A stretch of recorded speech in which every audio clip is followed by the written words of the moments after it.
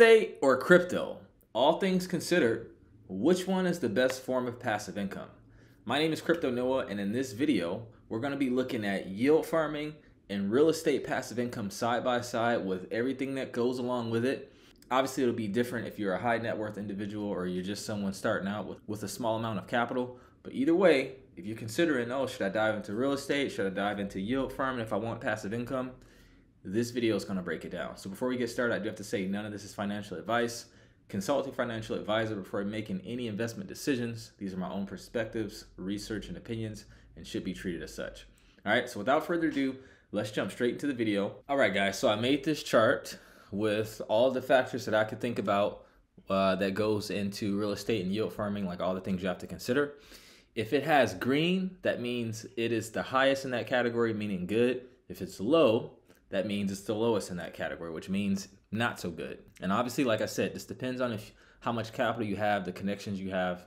But this is just to give you an idea if you were thinking about it. So the first thing we're going to start with is barriers to entry. So for real estate, the barrier to entry is low. And yield farming, the barrier to entry is high, meaning it's easy to get in. So start with real estate. Let's elaborate. Okay, guys, I almost forgot. Before I even jump into this, I have to explain what yield farming is. So it's multiple ways to get a yield uh, in crypto. You can stake your tokens um, on any blockchain staking contract to secure the network. So for ETH, that's the ETH 2.0 so beacon chain. You can use your funds as liquidity to facilitate borrowing and lending on platforms such as Aave and Compound. You can use your funds to facilitate insurance premiums uh, on a platform such as like Nexus Mutual, or in the way that we're talking about, you can use your funds as liquidity on decentralized exchanges and you can be a market maker. So, for example, if you want to make passive income in ETH USDC, you can deposit your Ethereum and USDC tokens into an ETH USDC pool. Anytime people are trading back and forth, you're making passive income in regards to the volume to TVL ratio and the amount of liquidity you have in the pool. All right, and when it comes to real estate, we're talking about cash flow from rental property. So it can either be a residential property or it can be a multifamily apartment or you know, property. We're not talking about buying and selling or fix and flips or anything like that. We're talking about strictly cash flow. All right, so barrier to entry. So real estate, the barrier to entry, we have it red and low because the barrier to entry is really high. You have to first purchase the home, which involves a lot of paperwork, right? You have to have good credit. You probably have to know someone. You have to drive around and find a good property, and it takes a while, right?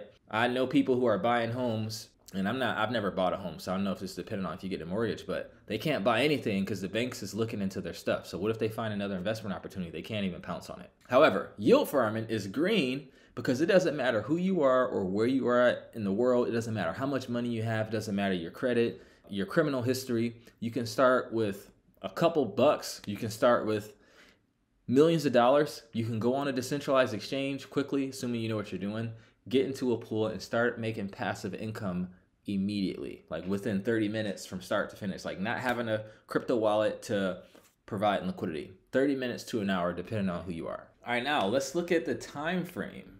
Okay, so for real estate, we have the time frame as low, and for yield farming, we have it on here as high. Let's elaborate. So with real estate, it usually takes a while to find the home that you want to buy.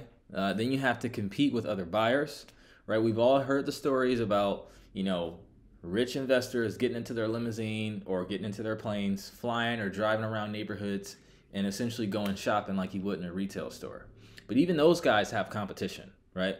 So after you find the house you want to buy, it takes a while to close on the home because of all the middlemen that have to get involved. Then it can take a while to find a tenant if you do it on your own, and it still could take some time if you have a property manager to do it for you. Okay? However, yield farming marks high on the time frame section because assuming you know what you're doing, if you're in our group, we have a yield hunter tool that literally shows you how to find the best pools in DeFi in real time, almost in less than five seconds. And if you guys are interested in getting access to our tool, learn how to deploy these market making strategies that have been successful since the 19th century, make passive income at a rapid clip before the bull market with an elite group of coaches and an elite group of members Click the link in the description, book a free strategy session. You'll talk to me or one of our coaches. We'll answer any questions you have on yield farming and crypto and ultimately see if our program is a good fit for you. If it's not, we're happy to point you in the right direction. I digress. With yield farming, you can hop into a pool really, really fast if you know what you're doing.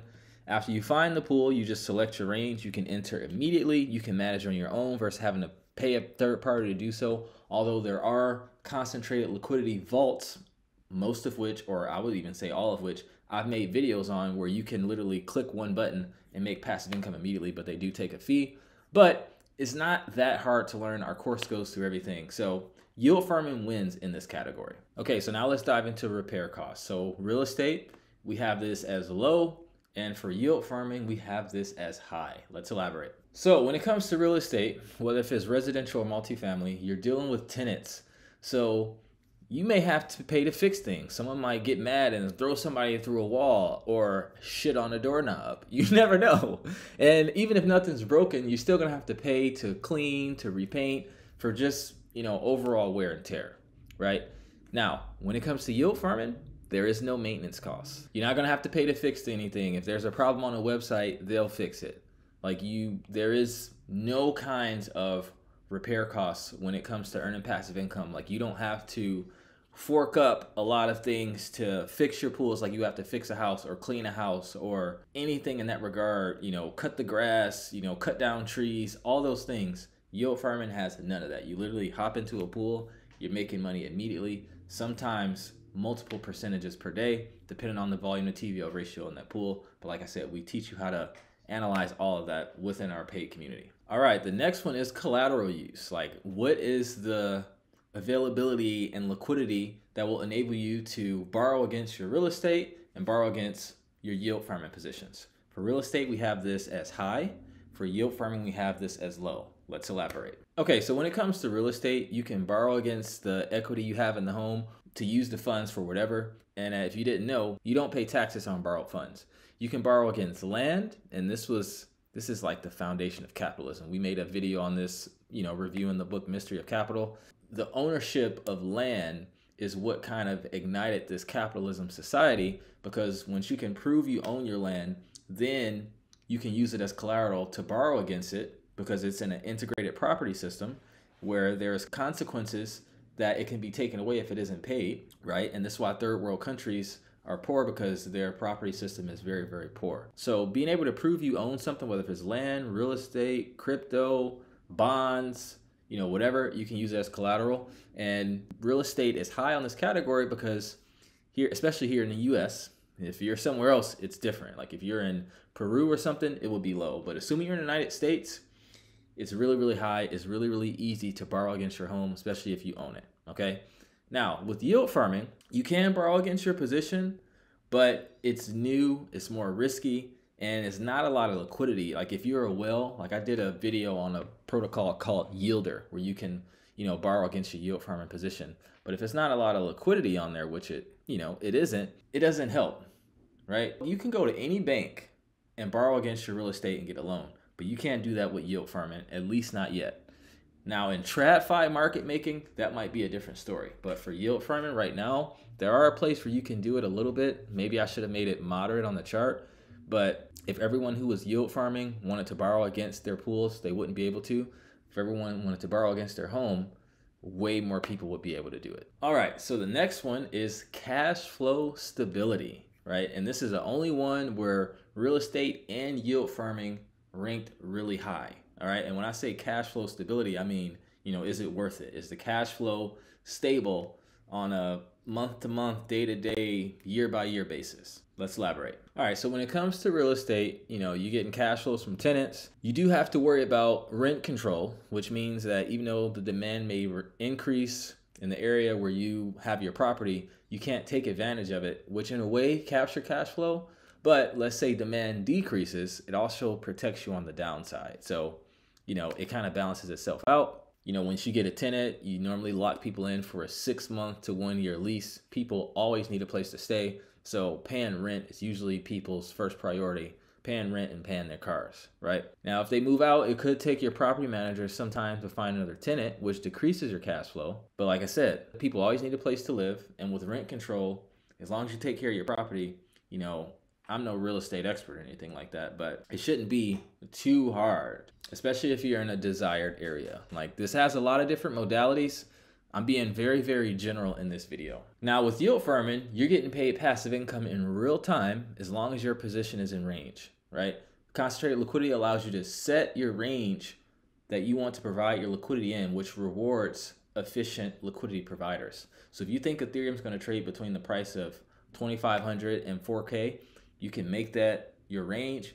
As long as prices are within that range, you're making passive income depending on the volume to TVL ratio. The wider your range, to lower your passive income, but the lower your risk, because it's a higher likelihood that it'll stay in range. And the opposite when you have a tight range. The higher your passive income and the higher your risk. But this is why we teach people to set up tranches where you have some tight range, some wide range, so that way you're covered. You're making passive income at a high clip. If it goes out of range, at least you're still within your wide range. And if volume increases, you directly benefit because it results in you filling more orders, which means you're making more passive income. Time in the market versus trying to time the market. We say this all the time. Also, if the pool goes out of range, you can rebalance and find a better pool in less than two minutes, assuming you know what you're doing, like we teach, and then you're right back to generating passive income.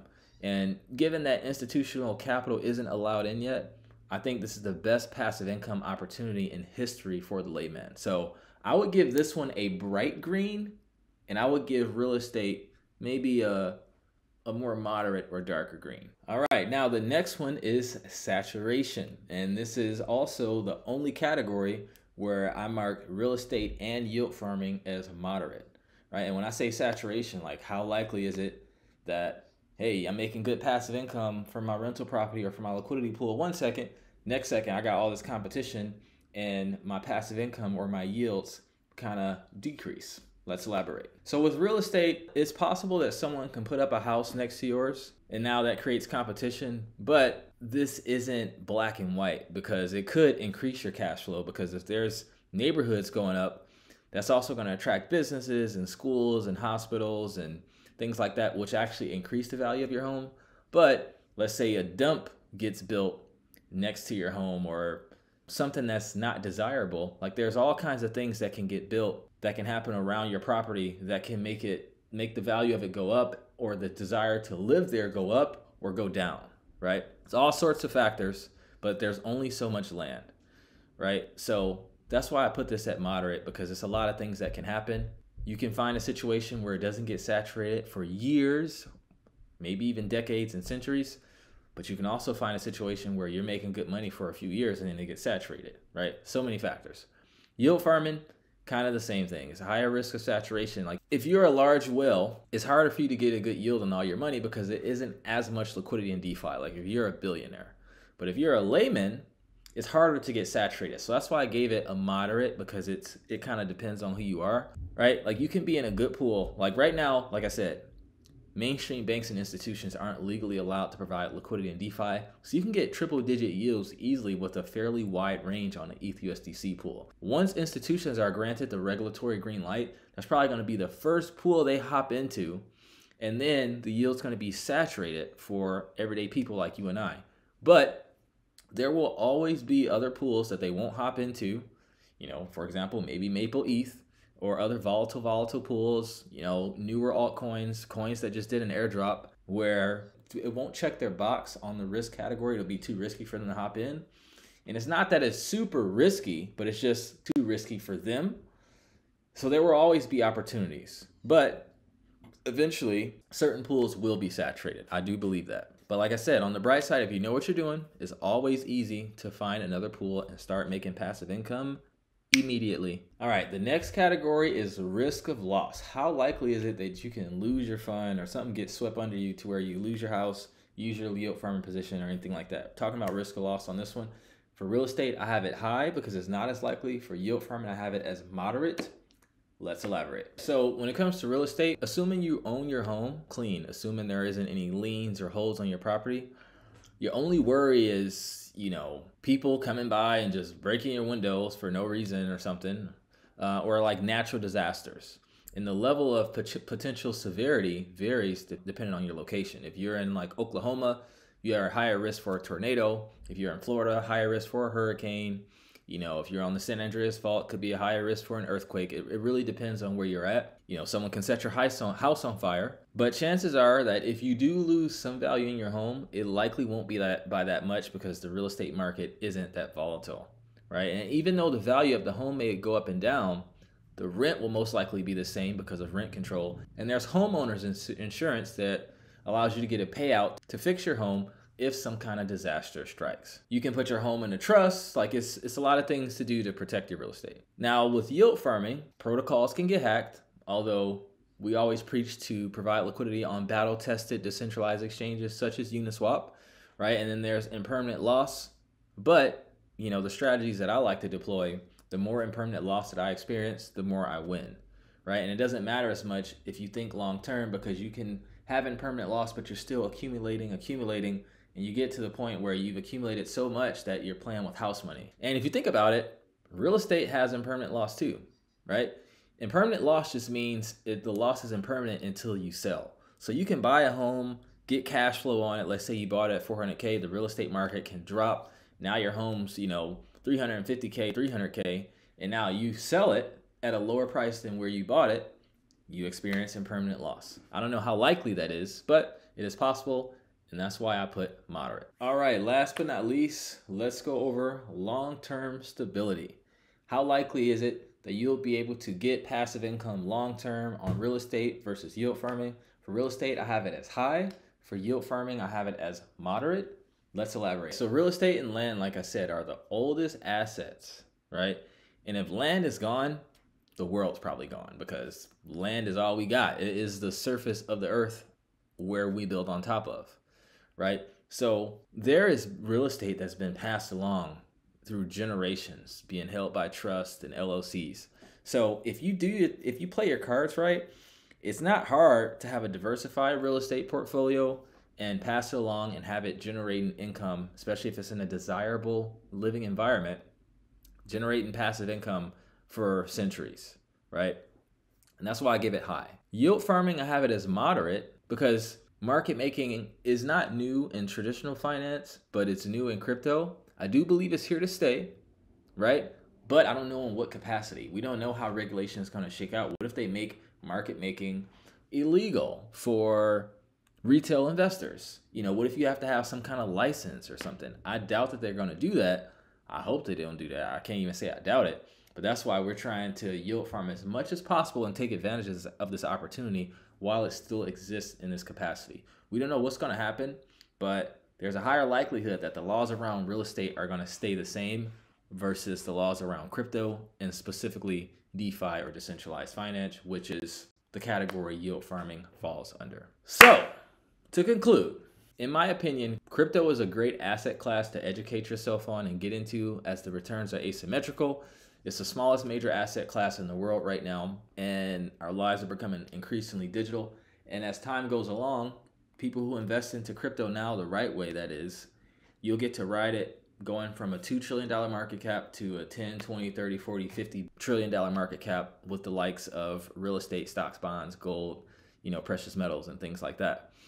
Now, while real estate is a higher barrier to entry, I think it'll be a good idea to make money in crypto and then use real estate and bonds and these other safer investments to hold your wealth. Use crypto to grow your wealth. Once it's grown, put it in something like real estate, bonds, you know, dividend paying stocks, depending on the time. Obviously, I'm being general here um, to maintain your wealth, right? Gold, things like that. Like they say, it's harder to maintain than it is to get. That's the route that people usually take. They start buying commodities, they start buying real estate just to save their money long term. Like once you get to a certain amount of capital, it's harder to get a 20x on your portfolio, a 40x, 50x. At that point, you want to just maintain what you have and have small amounts of growth because a 10% jump on a thousand dollars is only a hundred bucks, but a 10% growth on a billion dollars is a hundred million dollars. So it's a big difference. So with that, I'd like to conclude this video. If you got value, I ask that you drop a like, drop a comment, subscribe, share with a friend who's in real estate, who's in yield farming, or someone who's interested in both, but they're trying to figure it out.